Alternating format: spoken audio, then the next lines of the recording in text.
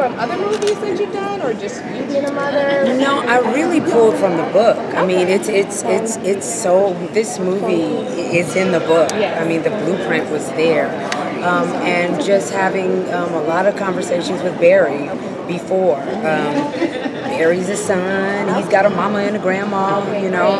Um, and and so just pulling on all of those things that uh, we felt like our mothers or grandmothers would have experienced in 1974. You know, like for me, just thinking about, you know, the first time my grandmother had gone to another country was, you know, she probably was like 60 years old. You know what I mean?